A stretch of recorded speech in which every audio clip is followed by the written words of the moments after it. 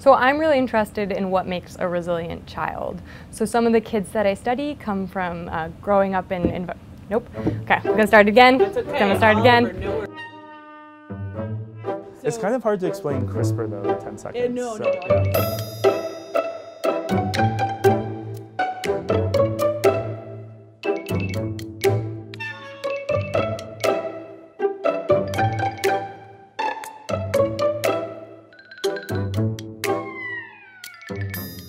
So I study how the brain uh, recognizes visual objects and actions that we see with the goal of building computer systems that can do the same thing.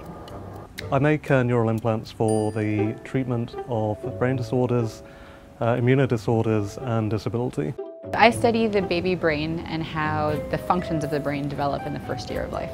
I'm a co-inventor of expansion microscopy, which is a technique we developed to allow researchers to physically expand biological tissue. We study odors and how different experiences shape how you feel about those odors. I'm studying the neural mechanisms uh, of attention, selective attention. Broadly, I'm interested in understanding how the brain makes sense of the sensory signals it receives. I trace brain connections to figure out whether abnormal developmental refinement of these brain connections could underlie autism. And so we're discovering and characterizing new immune systems in bacteria that can help us do what CRISPR-Cas9 has done for DNA but for RNA.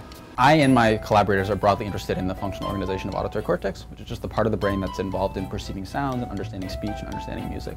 What I do is develop sensors for MRI to break down that signal into individual neurotransmitter responses. I'm really interested in what makes a resilient child, and I look at it both uh, through behavior and through the brain. I think it was about 5 a.m. or 6 a.m. and we had been staying up all night watching this thing expand because we were being very cautious. We were doing it slowly and watching every step. And we really, at some point in the middle of the night or the early morning, realized that it was working. And um, it was, you know, it was one of those exhausted, ecstatic moments.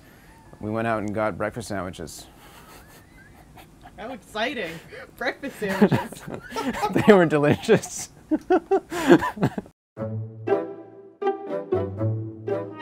We have, we have kind of found out, figured out how the atom works. We've kind of figured out how you know uh, the the planets actually revolve around each other. So this seems to be like the last major mystery, and I think it's good to say that if there is a concerted effort, 21st century should be the uh, the century of the study of, of how the brain works. Studying poverty from a neuroscience perspective is a really new field.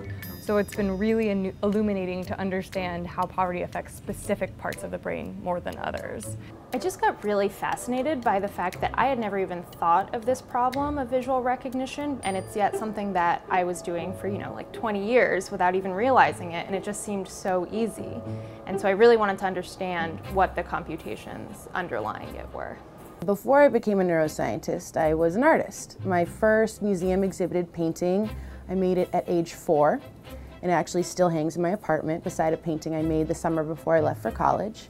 And that was actually what got me interested in studying vision and specifically color. What ended up happening when I was 12 years old, my mum suffered a stroke. And after that, I've always been interested in restoration of movement neuroscience. This is the place where we, this is the laboratory. This is where I come to live my life. And I, I find it deeply fulfilling. I have a choice. I could do whatever I want to do, and this is what I want to do with my life.